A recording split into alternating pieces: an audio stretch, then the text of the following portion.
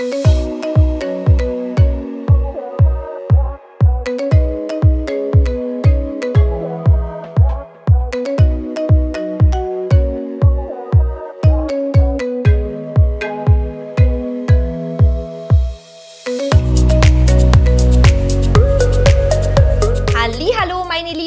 Weiter geht's mit einem weihnachtlichen, adventlichen Rezept. Und zwar möchte ich heute eine Marmelade mit euch machen mit Glühwein und Kirschen. Mega lecker. Ich würde sagen, wir fangen auch direkt gleich an.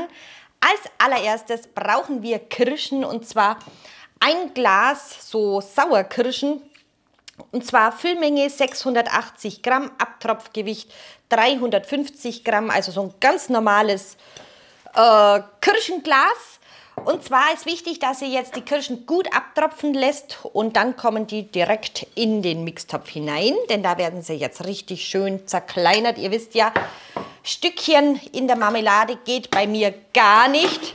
Deswegen zerkleinere ich jetzt die Kirschen 10 Sekunden auf der Stufe 10 und gucke mir das Ganze dann mal an, ob sie schon klein genug sind.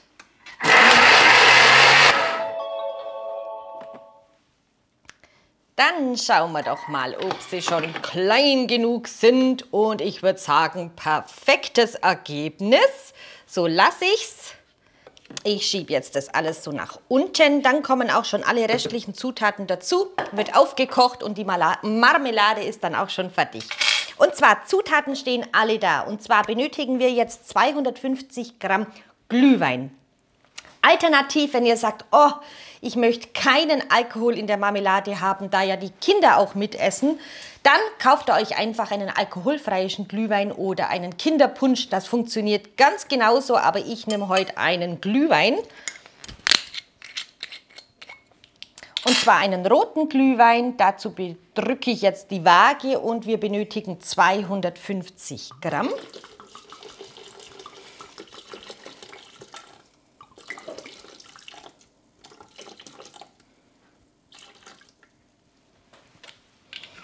Dann kommt dazu 70 Gramm Orangensaft.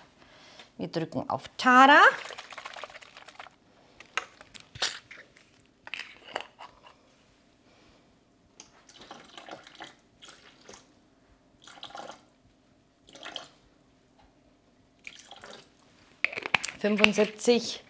Dann braucht man einen Teelöffel Flüssigzitrone oder ihr nehmt frischen Zitronen ausgepresst, könnt ihr genauso nehmen, einen Teelöffel davon. Dann benötigen wir einen Teelöffel Öl. Ich nehme natürlich wieder das Alba-Öl.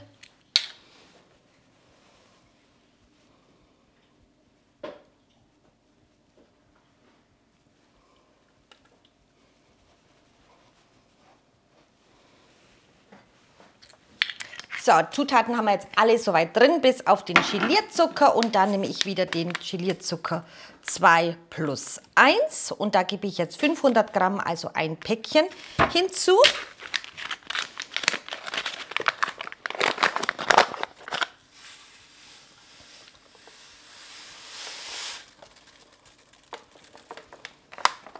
Jetzt haben wir alles drin und das Ganze wird jetzt 15 Minuten aufgekocht und dann ist auch ruckzuck die Marmelade auch schon fertig. Also 15 Minuten auf 100 Grad und die Stufe 2. Ihr seht, ich habe jetzt den Steep Cover aufgesetzt und zwar nach ein paar Minuten hat es so zum ja, ich sage jetzt mal, stinken angefangen. Der Glühwein, sage ich euch. Also das ganze Haus hat nach Glühwein gerochen. Also extrem nach Alkohol. Dann ist mir noch eingefallen, hei, hei, hei. Ich setze jetzt mal den Steam-Cover auf und ich sage euch, es riecht hier einfach nach Orange und nicht nach Alkohol. Und zwar der Steam-Cover passt für den TM5, TM6 und den TM31. Und wie das Ganze funktioniert, das zeige ich euch jetzt gerade noch. Also, ihr nehmt den dann einfach hier und füllt hier Wasser rein bis zu der Markierung. Hier ist eine Markierung und dann könnt ihr, wenn ihr mögt, ein paar Tropfen ätherische Öle reingeben. Ich habe jetzt Orange reingegeben und ich sage euch, das ganze Haus duftet nach Orange und nicht nach Alkohol. Und dann setzt ihr den einfach auf, nimmt das Messbecherchen weg und setzt den auf und dann, ja, riecht es einfach nicht nach Alkohol, sondern nach dem Öl, was ihr reingibt. Ja, aber jetzt noch zur Marmelade.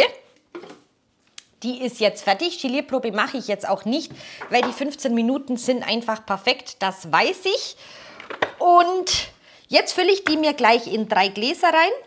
Und den Rest gebe ich mir in ein anderes Schüsselchen, weil heute Abend gibt es gleich Pfannkuchen mit Marmelade. Und da möchte ich euch gerade auch noch mal einen Trick zeigen, damit ihr nicht so rumsauert wie ich immer. Einfach mit einem Trichter einfüllen. Wenn man keinen Trichter zur Hand hat, nimmt da einfach euren Deckel vom Messbecher, äh, vom Mixtopf, legt den einfach so drauf und dann habt ihr auch gleich einen Trichter. Und jetzt füllen wir die Marmelade ein.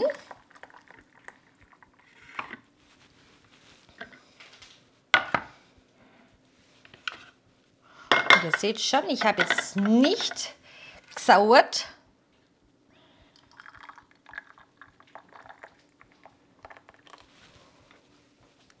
Wie gesagt, ich mache drei Gläser und den Rest gibt es heute Abend gleich zu Pfannkuchen.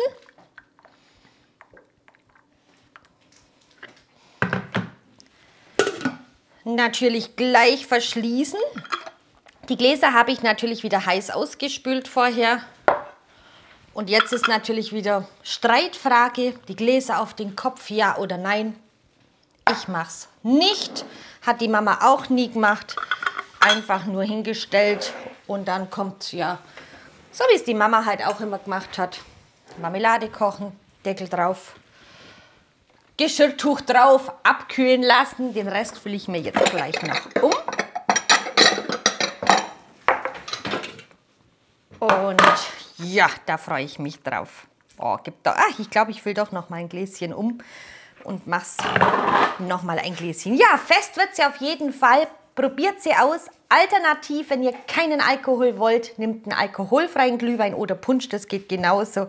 Und ich finde das wirklich jetzt in der Adventszeit einfach eine richtig schöne, angenehme Marmelade, wo einfach so ein bisschen so ein winter-weihnachtlichen Touch hat. Macht sie gerne nach. Ich schreibe euch das genaue Rezept selbstverständlich wieder unter das Filmchen in die Infobox.